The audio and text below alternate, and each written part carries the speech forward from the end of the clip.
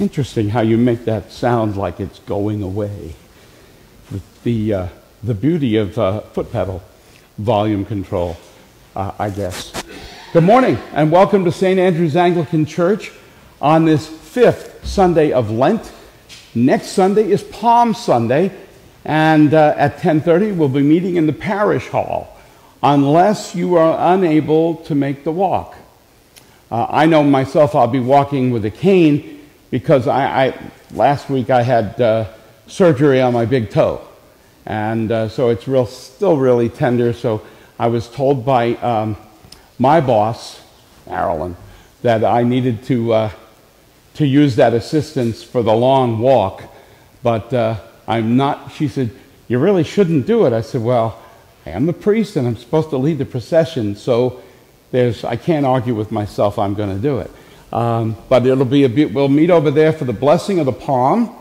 And by the way, speaking of palms, um, I know Holly has invited folks uh, that if they wanted to make palm crosses at 11 o'clock uh, next Saturday in the parish hall, April 9th, uh, the palms will be there.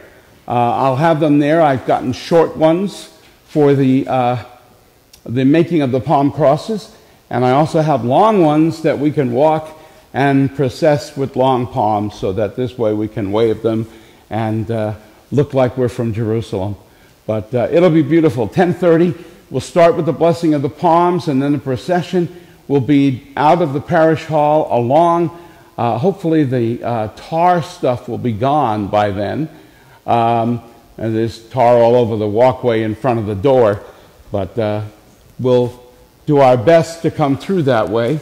Um, we're redoing the roof. And, uh, but we'll make it work, I promise, because there is another door. And uh, we'll make it work and head out uh, along Cleveland Street to the sidewalk on Coweta and the sidewalk on um, East Ward Street into the door and into our sanctuary, our nave and sanctuary. Um, this past Thursday and Friday, I had the privilege of being in Tallahassee as a part of the Missional Leadership Alliance, and uh, it's something that I've been a part of since November. Uh, we have a Zoom group, and there are like 20 Zoom groups throughout the diocese, uh, the priests and, and so on. Uh, I've been with five other priests, and uh, we met as a whole group for the Missional Leadership Alliances at the uh, in Tallahassee at the cathedral, St. Peter's Cathedral. And it was a great time meeting with uh, our bishop and uh, also with the two candidates to talk with them. And uh, they're wonderful, godly men. And there's information on them again in the parish life. Uh, it's the, the Reverend Alex Farmer from Gainesville and uh, the Reverend John Wallace. He's from Rosemary Beach, which is near Panama City. Um, the walkabout is May the 2nd for delegate and for uh, clergy, for clergy. And uh, then the uh, election, I believe it was May 17th. Well, anyway, uh, I'll have more information coming up so that you'll be able to. It's, uh, the electing synod is Saturday, May 14th at St. Peter's. Uh, there's more information in here. We've got some birthdays. Will Bronner is celebrating a birthday. Ashley Vickers is celebrating a birthday this week. And uh, God bless them. Uh, there's important dates to remember in here, including uh, our Holy Week lunch for the Coffee Ministerial Association at uh, the First United Methodist Church uh, from the 11th to the 15th. Please don't forget about uh, our Maundy Thursday Seder. Deacon Bob is going to bring the, uh, you brought the clipboards down already? Ah, he's going to bring the clipboards down for the Easter lilies sign up and also for the uh, Maundy Thursday Seder. And that will be at uh, 6 p.m. And the Maundy Thursday service and stripping of the altar will be at 7.30. And you'll see that our Good Friday service is at noon uh, on Friday the uh, 15th. And uh, earlier in that week, on Wednesday, uh, we will have, uh, I thought I put it in here, uh, we will have the um, Stations of the Cross that Deacon Bob will be leading on Wednesday. And of course, Easter Sunday, we will meet here in the church. Um, again, please sign up for the Palms, uh, for the um, so, uh, Thursday Seder, as well as for the Easter lilies. And uh, yesterday had the great honor, Ruth Nance, who has been a member of our parish uh, for a, a, short period of time, but she's a wonderful lady. Uh, she and Harmon Moody uh, were wed in the Baptist chapel yesterday and had a small reception in our parish hall. Well, congratulations and many blessings to them. Um, George and Jeanette Blampede, Marilyn and I were there, and uh, it was a, a, small but beautiful ceremony and reception. And uh, it was really, does your heart good when a song by a, a Christian man named um, uh, Peter Yarrow. Uh, I should say, yeah, it, did I say Peter Yarrow? I'm sorry. It's Noel Paul Stookey. I get confused because Peter and Paul and Mary, they're all in the same group together, Peter, Paul, and Mary. And uh, Noel Paul Stookey had a hit song in 1971 called The Wedding Song. And so that was played, and he was known as Paul Stookey then. So it's a beautiful wedding, and uh, we wish them all the best. I'm going to ask you to please stand now, and if you would, open your uh, red hymnals to hymn 150 40 days and 40 nights.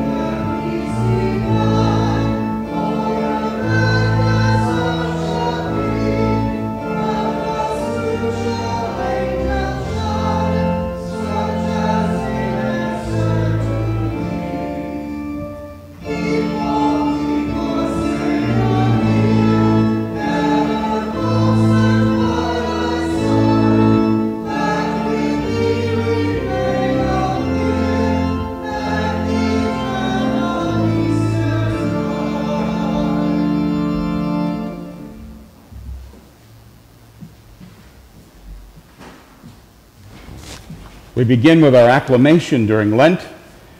Bless the Lord who forgives all our sins. His mercy endures forever. Turning to page 106 in the prayer book, I'd ask you please, kneeling if you're able, to join me as we pray the collect for purity. Almighty God, to you all hearts are open, all desires known, and from you no secrets are hid. Cleanse the thoughts of our hearts by the inspiration of your Holy Spirit, that we may perfectly love you and worthily magnify your holy name through Christ our Lord. Amen. Hear what our Lord Jesus Christ says You shall love the Lord your God with all your heart, and with all your soul, and with all your mind. This is the first and great commandment, and the second is like it You shall love your neighbor as yourself. On these two commandments depend all the law and the prophets. Lord, have mercy on us. Christ, have mercy on us. Lord, have mercy on us. You may be seated at this point as we will pray the Decalogue. Turn to page 100 in your prayer book. God spoke these words and said, I am the Lord your God. You shall have no other gods but me. Lord, have mercy upon us and incline our hearts to keep this law. The second commandment, you shall not make for yourself any idol. Lord, have mercy upon us and incline our hearts to keep this law. The third commandment, you shall not take the name of the Lord your God in vain.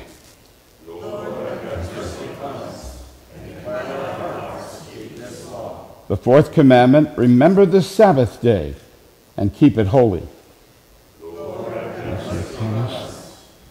Our hearts to keep this law. The fifth commandment, honor your father and your mother.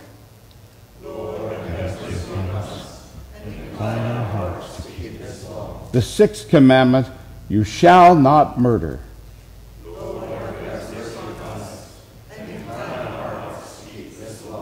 The seventh commandment, you shall not commit adultery.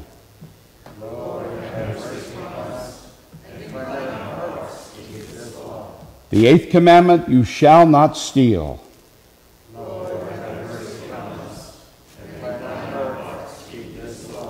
The ninth commandment, you shall not bear false witness against your neighbor.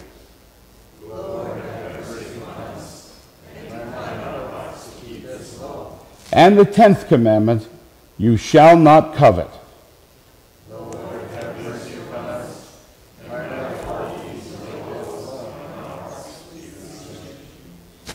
The Lord be with you. With. Let us pray. Almighty God, you alone can bring into order the unruly wills and affections of sinners. Grant your people grace to love what you command and desire what you promise that among the swift and varied changes of this world, our hearts may surely there be fixed, where true joys are to be found. Through Jesus Christ our Lord, who lives and reigns with you in the Holy Spirit, one God, now and forever. Amen. And now a prayer for the candidates for bishop. Please join me in praying this in unison. Almighty God, giver of every good gift, look graciously on your church, and so guide the minds of those who shall for this diocese, that we may receive a faithful pastor who will preach the gospel, care for your people, equip us for ministry, and lead us forth in fulfillment of the Great Commission. We thank you for raising up Father Alex Farmer and Father John Wallace as candidates and ask that you would bless and strengthen both them and their families and give them your peace during this season of discernment. Through Jesus Christ our Lord. Amen. Now please be seated for the lessons.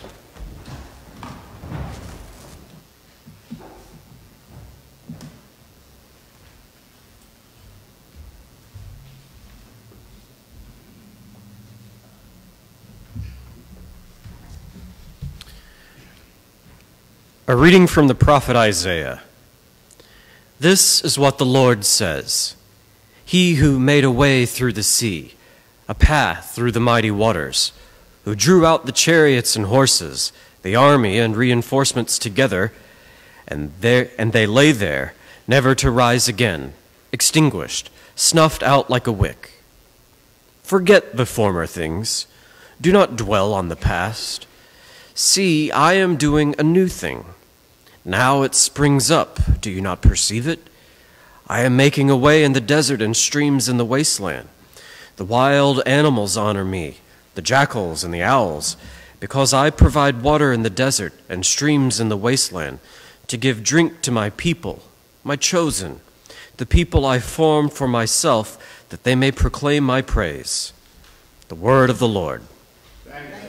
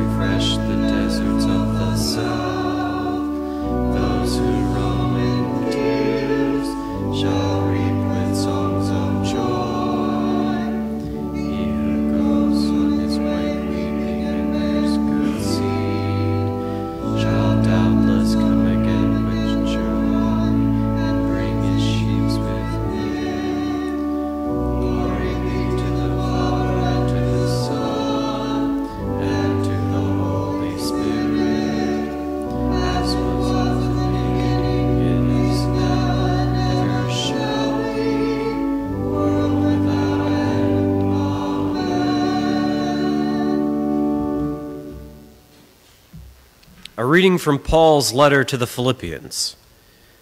But whatever was to my profit, I now consider loss for the sake of Christ.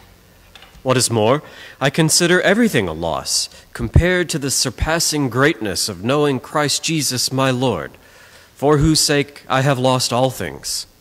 I consider them rubbish, that I may gain Christ and be found in him, not having a righteousness of my own that comes from the law, but that which is through faith in Christ, the righteousness that comes from God and is by faith. I want to know Christ and the power of his resurrection, and the fellowship of sharing in his sufferings, becoming like him in his death, and so somehow to attain the resurrection from the dead. Not that I have already obtained all this, or have already been made perfect, but I press on to take hold of that for which Christ Jesus took hold of me. Brothers, I do not consider myself yet to have taken hold of it, but one thing I do forgetting what is behind and straining toward what is ahead. I press on toward the goal to win the prize for which God has called me heavenward in Christ Jesus. All of us who are mature should take such a view of things. And if on some point you think differently, that too God will make clear to you. Only let us live up to what we have already attained. The word of the Lord.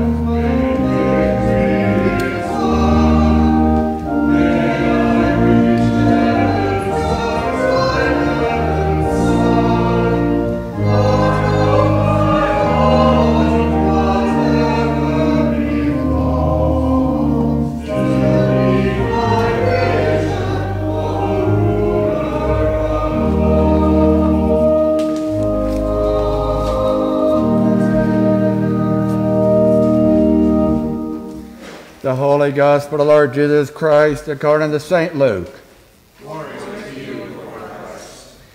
Jesus went on to tell the people this parable.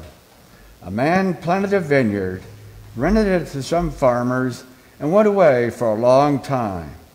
At harvest time, he sent a servant to the tenants so they would give him some fruit of the vineyard. But the tenants beat him and sent him away empty handed. He sent another servant but that one also they beat and treated shamefully and sent away empty handed. He sent still a third, and they wounded him and threw him out. Then the owner of the vineyard said, What shall I do? I will send my son, whom I love. Perhaps they will respect him. But when the tenants saw him, they talked the matter over. This is the heir, they said. Let's kill him, and the inheritance will be ours. So they threw him out of the vineyard and killed him. What then will the owner of the vineyard do to them? He will come and kill those tenants and give the vineyard to others. When the people heard this, they said, May this never be. Jesus looked directly at them and asked, Then, what is the meaning of that which is written? The stone the builders rejected has become a capstone. Everyone who falls on that stone will be broken to pieces, but he on whom it falls will be crushed.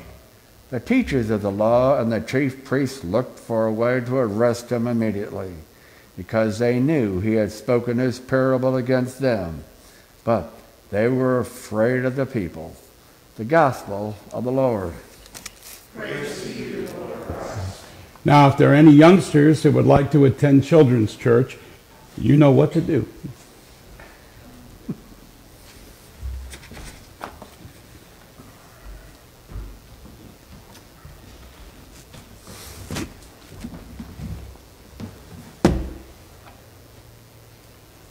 Please pray with me.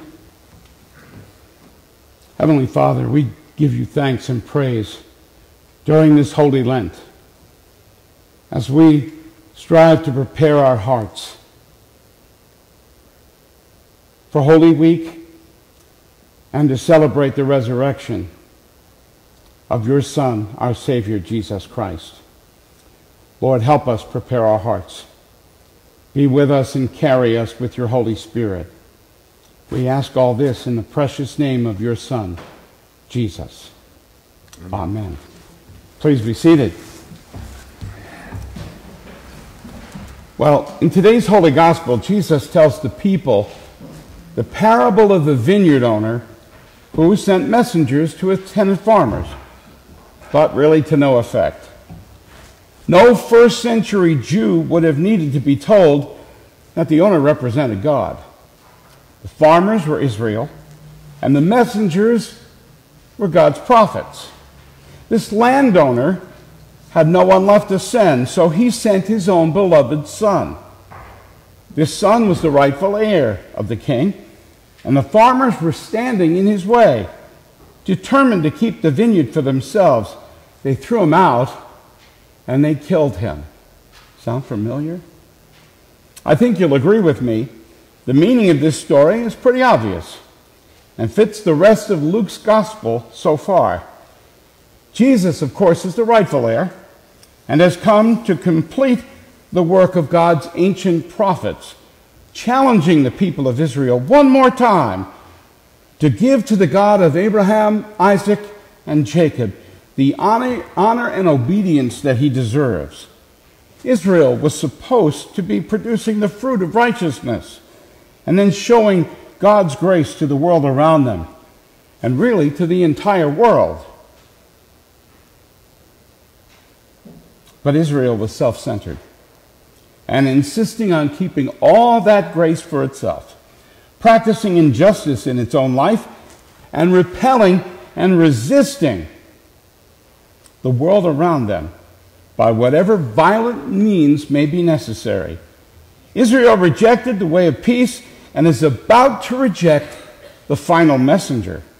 The story doesn't stop there because the vineyard owner will return at last, and when he does, the judgment that Israel longed to see meted out on the pagan world would be sentenced instead on them. He will destroy the tenants and give the vineyard to others, the Gentiles. The leadership in Jerusalem and the temple's self appointed guardians of Israel's law and traditions are really signing their own death warrant. Their rejection of Jesus will be taken up by God into the rebuilding plans of his people. And I quote The stone the builders rejected, in this case, the Messiah sent to Israel, who they rejected, has become the capstone. Now, these words are from Psalm 118 22, and they use a very different image from that of the vineyard. Ironically, and this should be an aha moment, that the very same psalm is echoed by the crowds in Luke 19:38 as Jesus rode on the back of the colt into the city when they said, "Blessed is the king who comes in the name of the Lord." There should be no irony here. Remember, God really knows what he's doing. He doesn't make mistakes and there really should be no surprises. And he knows long before we do. Jesus' reference to the capstone or cornerstone should remind the people of the construction of the temple under Solomon's reign when massive stones were chiseled away miles from the building in order that no sound could be heard on the Temple Mount. When the stones arrived, if one stone didn't fit, it was thrown down the hill into the Kidron Valley. When it became evident that the cornerstone was missing, the stone that had been rejected turned out to be the one that fit perfectly. And Jesus applies this to himself. In effect, he's saying, You're trying to build your salvation without me, but you're going to see I am the cornerstone. Without me, nothing stands. Jesus is the stone which does not fit the preconceived notion of the Messiah. He's not coming in riding on a white horse with a sword up in the air. No, he's peaceful. He comes meek and mild, preaching peace. His resurrection from the dead proves that he's the one on whom all eternity is built. Though the leaders of the political world and the religious world may reject Jesus, God has made him the centerpiece of his plan.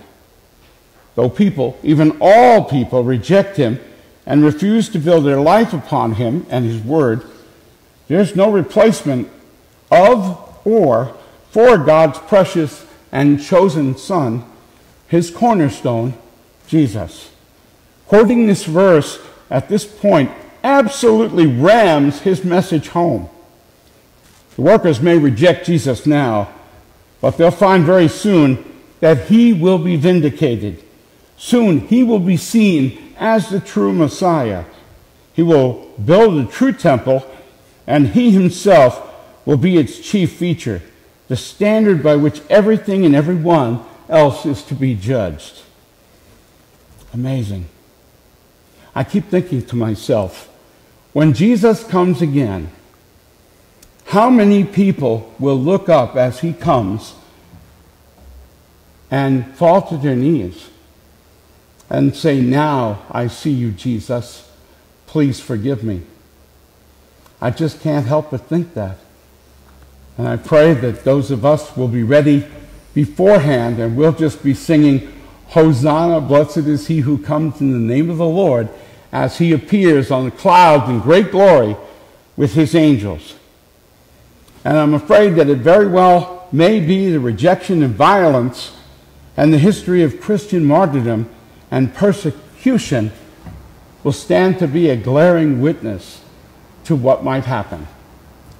But the good news is that the vineyard owner will have the last word.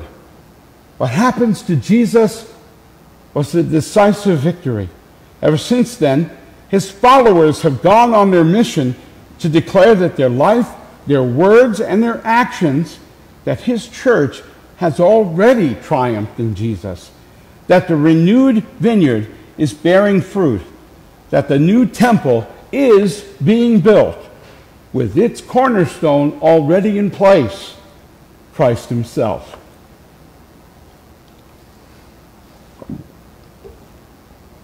Verse 15 and 16 of today's gospel reveal the ultimate result of callousness and hardness of the man's heart against God's rule. So they threw him out of the vineyard and killed him. What then will the owner of the vineyard do to them? He will come and kill those tenants and give the vineyard to others. When the people heard this, they said, May this never be. The rejection of the message and the messengers is harsher each time. Ultimately, instead of remorse and repenting, they do the exact opposite. Those rebellious tenors killed the beloved Son, a glimpse of the foreshadowing of the fate that awaits Jesus in Jerusalem. Hebrews 13, 12 to 13 says, well, And so Jesus also suffered outside the city gate to make the people holy through his own blood. Let us then go to him outside the camp bearing the disgrace he bore. My friends, that's what Lent is all about preparing. that son is killed outside the vineyard or camp, and it evidenced that was written by the author of Hebrews. God used the image of a vineyard numerous times throughout the words of the prophets Isaiah and Ezekiel. And these people understood the implication, and they were stunned at the word of final punishment on the tenants, feeling that they too will fall with the nation as God turns over the vineyard to the Gentiles. The Holy Gospel says that they wanted to kill Jesus right then, but they were afraid of the reaction of the people. Jesus' prophetic words were another opportunity for the Jewish leaders to repent and turn back to God. He was pleading with them to turn to God in truth and save not only their own lives, but the life of the whole nation of Israel. So, what was their answer? They responded with a tragically unrepentant, May this never be crowd's strong negative response indicates that they understood what Jesus was saying. The Jewish system was being set aside because the religious leaders themselves were rejecting him, and the people, of course, like lemmings, were following their leadership instead of God's. And this parable sums up all of Jesus' messages concerning the fact that the Gentiles and outcasts, the tax collectors, the sinners, as they repented, would be added to the kingdom because Israel would not recognize and submit to Jesus' authority. Verse 18 says that those who will not fall upon this stone in brokenness of repentance will have the stone fall upon them in judgment. It says, Everyone who falls on that stone will be broken into pieces, but he on whom it falls will be crushed. The capstone or cornerstone is a tremendous image that Jesus is saying he's the means of repentance and judgment. Rejecting God's beloved Son by failing to cast your, uh, failing to cast your life upon him has serious consequences. All you have to do is read John 3:16 to 18. Those who believe are saved, those who do not believe are condemned already. The Apostle Paul wrote, Every knee shall bow and every tongue will confess that Jesus is Lord. Philippians 2:10. The only question is, will your life be broken by God's precious cornerstone? Or will you and will you cast your life upon him now to be broken before him in repentance and or and saved? Or will you wait too long and be broken and crushed by him when he returns to judge the world? Again, that vision of God come, Jesus coming back with his holy angels, and how many people, including many Jews, falling on their faces and saying, It is Jesus. How they wish they had been able to accept him beforehand. The Apostle Peter wrote this in 1 Peter 2 6. For in Scripture it says, See, I lay a stone in Zion, a chosen and precious cornerstone, and the one who trusts in him will never be put to shame. Now, today we have all sorts of people, all kinds of experts giving advice. Somebody has something to say about everything. Sometimes it runs in circles. Just turn on TV or radio, especially with some of those infomercials, and there's a subject matter expert giving advice on just about everything. The only one true and trustworthy expert is Jesus Christ. He gives us the absolute certain truth which is recorded for us in Holy Scripture. If we repent and fall upon Christ as the new cornerstone of our life, our life will be broken to pieces. But by trusting in Him and living for Him, we can rebuild it upon the chosen cornerstone of external, of eternal existence. If we call upon Jesus and build our life upon him, we will never, ever be put to shame. My brothers and sisters in Christ, it's never too early to begin to build a life based and built upon this cornerstone, the solid foundation. His name is Jesus of Nazareth, Jesus Christ. I love Jesus' words in Matthew chapter 7 when he told his disciples that there were two men. One man built his house upon the sand, the wind blew and the storms came, and what happened to that house? It was washed away. The other man built his house upon the solid rock, and when the winds came, the storms came, it stood. That's the foundation, the rock on which we build our faith. Jesus Christ the righteous. Now let Satan give us his best shot, but Christ stands with us, and we will stand with him for all eternity. Jesus, the one who was rejected, we choose to be our cornerstone. In the name of the Father, and of the Son, and of the Holy Spirit. Amen.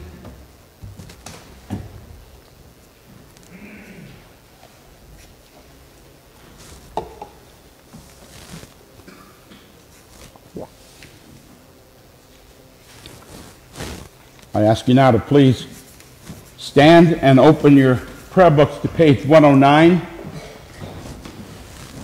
And let us confess our faith in the words of the Nicene Creed. We believe in one God, the Father, the Almighty, maker of heaven and earth, of all that is visible and invisible.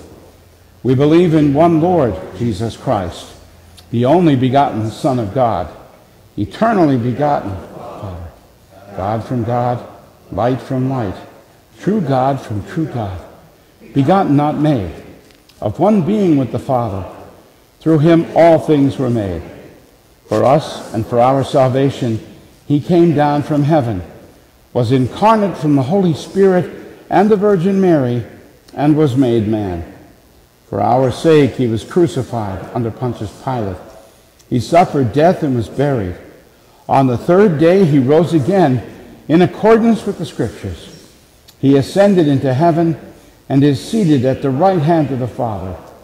He will come again in glory, judge the living and the dead, and his kingdom will have no end. We believe in the Holy Spirit, the Lord, the giver of life, who proceeds from the Father and the Son, who with the Father and the Son is worshiped and glorified, who has spoken through the prophets. We believe in one holy, Catholic, and Apostolic Church. We acknowledge one baptism for the forgiveness of sins. We look for the resurrection of the dead and the life of the world to come. Amen. And now, kneeling, if you're able, please turn to page 110 as we pray the prayers of the people.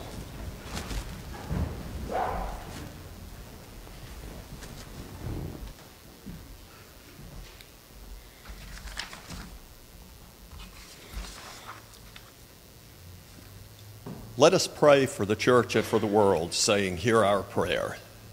Almighty and ever living God, we are taught by your holy word to offer prayers and supplications and to give thanks for all people. We humbly ask that you mercifully ask you mercifully to receive our prayers. Inspire continuously the universal church with the spirit of truth, unity, and concord and grant that all who confess your holy name may agree in the truth of your holy word and live in unity and godly love. Lord, in your mercy, we pray that you will lead the nations of the world in the way of righteousness and so guide and direct their leaders, especially Joseph, our president, that your people may enjoy the blessings of freedom and peace. Grant that our leaders may impartially administer justice, uphold integrity and truth, restrain wickedness and vice, and protect true religion and virtue. Lord, in your mercy, give grace, Heavenly Father, to all bishops, priests, and deacons, and especially to your servants Foley, our archbishop, Neil, our bishop, John, our priest, Robert and Diane, our deacons that by their life and teaching they may proclaim your true and life giving word and rightly and duly administer your holy sacraments. And to all your people, give your heavenly grace, especially to this congregation, that with reverent and obedient hearts we may hear and receive your holy word and serve you in holiness and righteousness all the days of our lives. Lord, in your mercy, hear our prayer. Prosper, we pray, all those who proclaim the gospel of your kingdom throughout the world, and strengthen us to fulfill your great commission making disciples of all nations, baptizing them and teaching them to obey all that you have commanded. Lord, in your mercy, we ask you in your goodness, O Lord, to, to comfort and sustain all who in this transitory life are in trouble, sorrow, need, sickness, or any other adversity.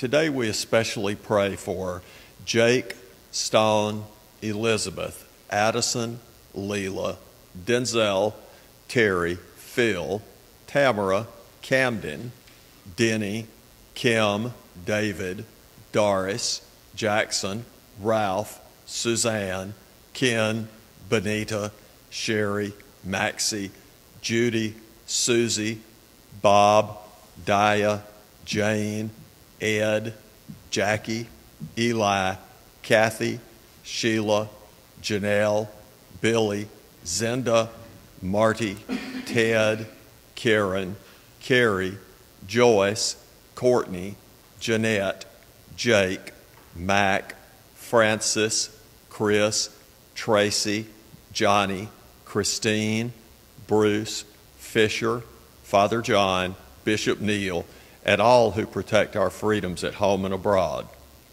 I invite you to add your own requests at this time.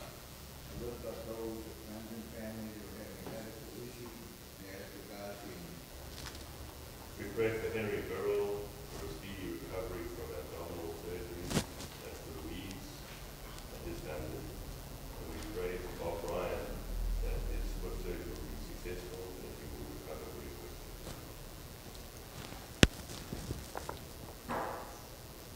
Lord, we are grateful for the healing of family and friends. We stand against the enemy and this virus. Please extinguish this virus. Bless and protect our first responders, doctors, nurses, as well as teachers and students. Grant wisdom among all your people that we would proceed today and in the days ahead, caring for one another in love. Lord, in your mercy, we remember before you all your servants who have departed this life in your faith and fear, especially the family of Constance Campbell, Don's daughter, who was buried yesterday, that your will for them may be fulfilled. And we ask you to give us grace to follow the good examples of Andrew and all your saints, that we may share with them in your heavenly kingdom. Lord, in your mercy, Hear our prayer. Heavenly Father, grant these our prayers for the sake of Jesus Christ, our only mediator and advocate, who lives and reigns with you in the unity of the Holy Spirit, one God, now and forever. Amen. And now, turning to page 112, at the bottom of the page, let us humbly confess our sins to Almighty God as we pray this together. Almighty God, Father of our Lord Jesus Christ, Maker and Judge of us all, we acknowledge and lament of our many sins and offenses which we have committed by thought, word, and deed against your divine majesty, provoking most justly your righteous anger against us. We are deeply sorry for these transgressions. The burden of them is more than we can bear. Have mercy upon us have mercy upon us, most merciful Father, for your Son, our Lord Jesus Christ's sake. Forgive us all that is past, and grant that we may evermore serve and please you in newness of life, to the honor and glory of your name, through Jesus Christ our Lord. Amen.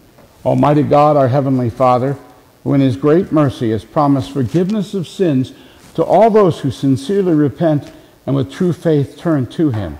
Have mercy upon you, pardon and deliver you from all your sins, confirm and strengthen you in all goodness, and bring you to everlasting life through Jesus Christ our Lord. Amen. Hear the word of God to all who truly turn to him. Jesus said, Come to me, all who labor and are heavy laden, and I will give you rest. God so loved the world that he gave his only begotten Son that whoever believes in him should not perish, but have eternal life. And if anyone sins, we have an advocate with the Father, Jesus Christ the righteous. He is the propitiation for our sins, and not for ours only, but also for the sins of the whole world. Please stand.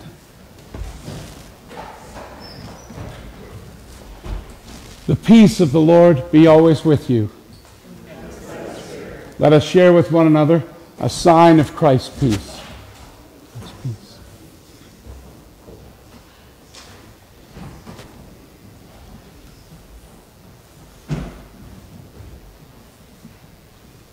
Please be seated.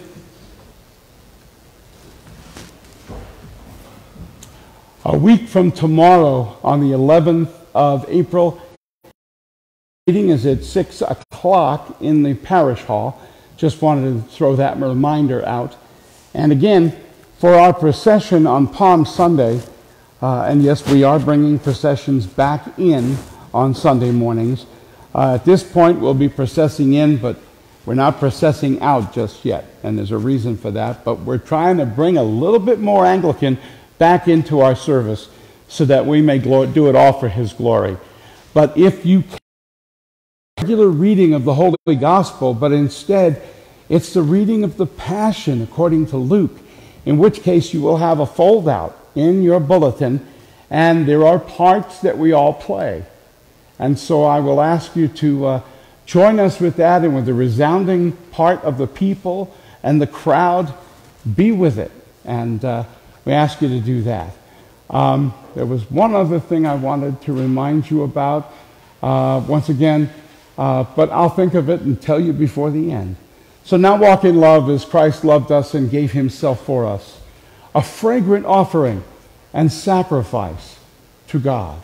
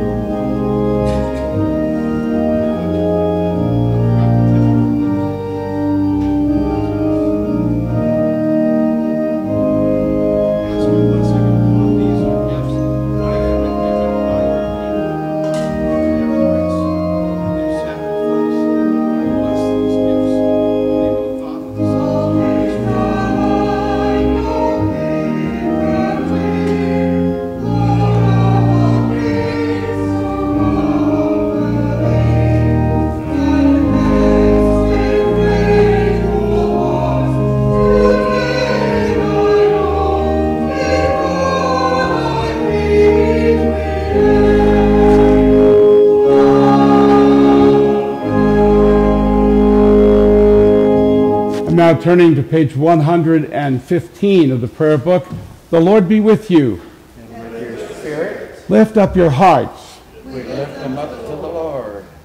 Let us give thanks to the Lord our God. It is right to give him thanks and praise. It is right, our duty and our joy always and everywhere to give thanks to you, Father Almighty, creator of heaven and earth. You bid your faithful people cleanse their hearts and prepare with joy for the paschal feast, that fervent in prayer and in works of mercy, and renewed by your word and sacraments, they may come to the fulfillment of grace which you have prepared for those who love you. Therefore, we praise you, joining our voices with angels and archangels and with all the company of heaven, who forever sing this hymn to proclaim the glory of your name. Holy, holy,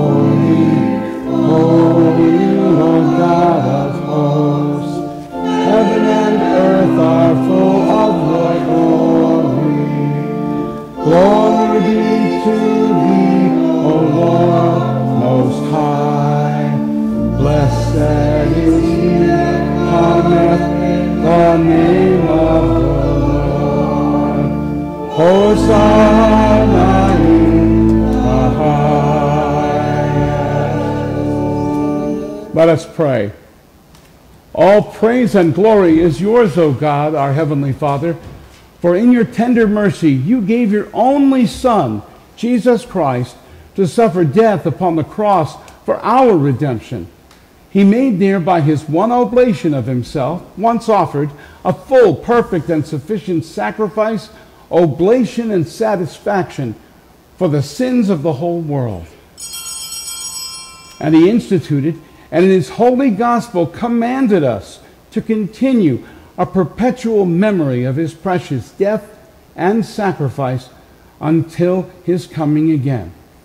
So now, O merciful Father, in your great goodness, we ask you to bless and sanctify with your word and Holy Spirit these gifts of bread and wine, that we, receiving them according to your Son, our Savior, Jesus Christ's holy institution, in remembrance of his death and passion, may be partakers of his most blessed body and blood.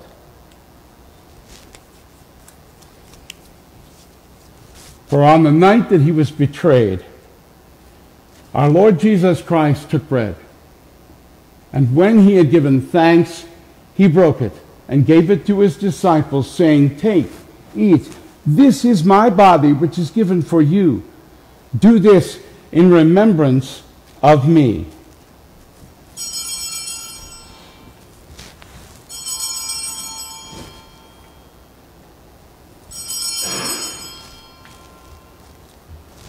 Likewise, after supper, Jesus took the cup. And when he had given thanks, he gave it to them, saying, Drink this, all of you. This is my blood of the new covenant, which is shed for you and for many for the forgiveness of sins. Whenever you drink it, do this in remembrance of me.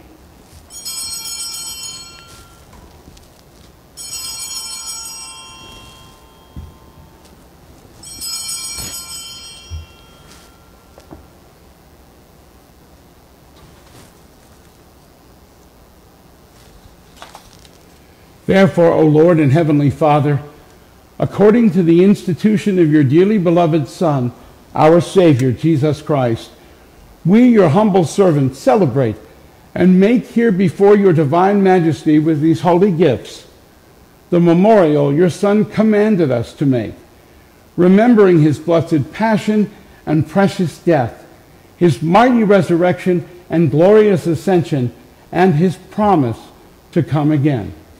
And here we offer and present to you, O Lord, ourselves, our souls and bodies to be a reasonable, holy, and living sacrifice. We humbly pray that all who partake of this holy communion may worthily receive the most precious body and blood of your Son, Jesus Christ, be filled with your grace and heavenly benediction, and be made one body with him, so that he may dwell in us and we in him.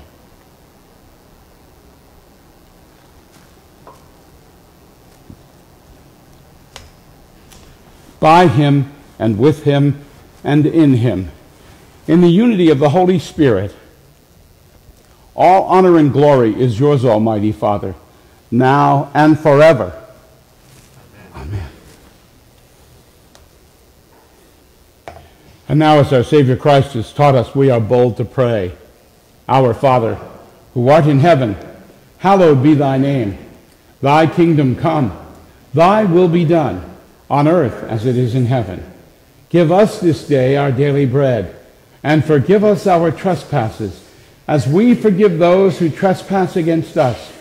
And lead us not into temptation, but deliver us from evil. For thine is the kingdom, and the power, and the glory, forever and ever. Amen.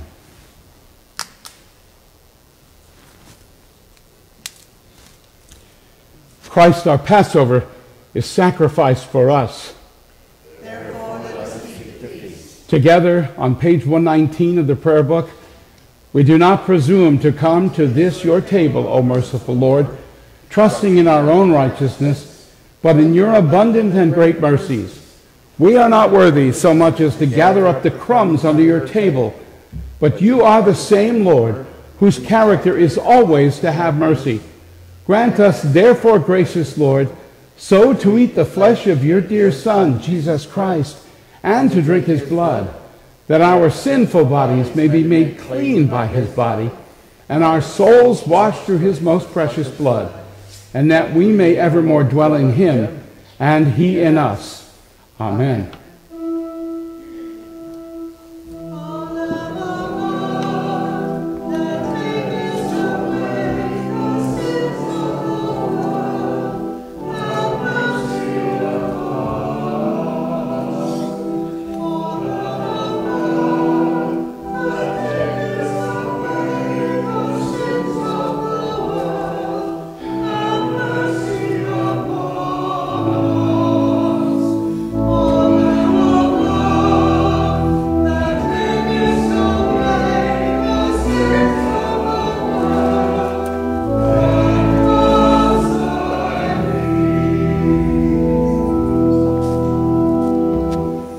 These are the gifts of God for the people of God. Take them in remembrance that Christ died for you, and feed on them in your hearts by faith with thanksgiving.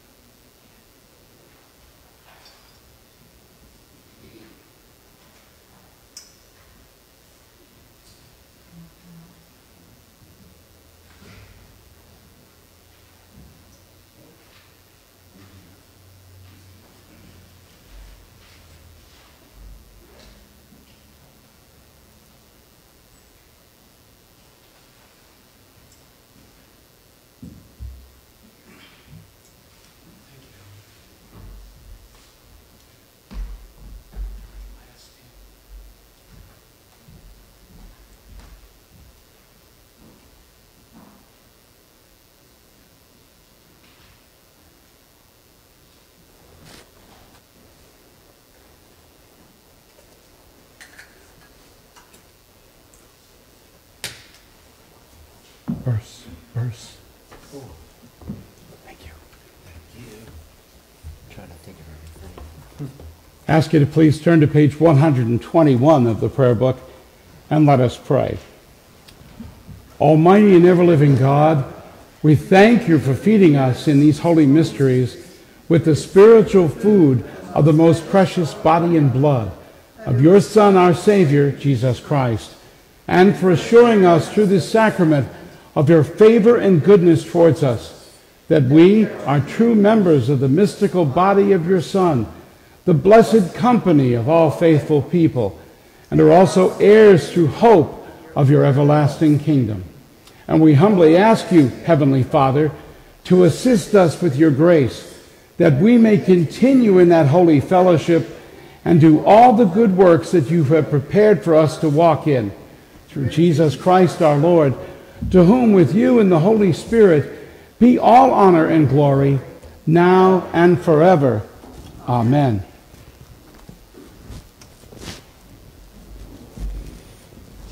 And now, may the peace of God, which surpasses all understanding, keep your hearts and minds in the knowledge and love of God and of his Son, Jesus Christ our Lord. And the blessing of God Almighty, the Father, the Son, and the Holy Spirit be upon you and remain with you today and always. I ask you now to please stand and open your red hymnals to hymn 555. Lead on, O King eternal.